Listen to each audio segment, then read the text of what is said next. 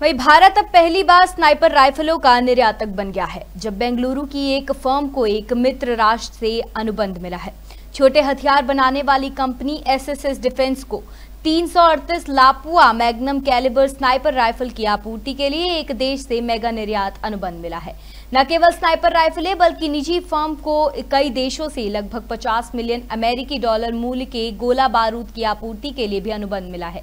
यह sniper rifle 1500 metre और उससे अधिक दूरी तक निशाना साधने के लिए बनाई गई है और पूरी तरह भारत में ही डिज़ाइन और निर्मित की गई है। रिपोर्ट में यह भी कहा गया है कि यह पहली बार है जब भारत ने किसी विदेशी देश को स्नाइपर राइफलें निर्यात किए हैं। सूत्रों ने आगे बताया कि एसएसएस डिफेंस ने पहले ही स्नाइपर राइफलों का निर्यात पूरा कर लिया है और कुछ अन्य देशों के साथ भी बातचीत कर रही है।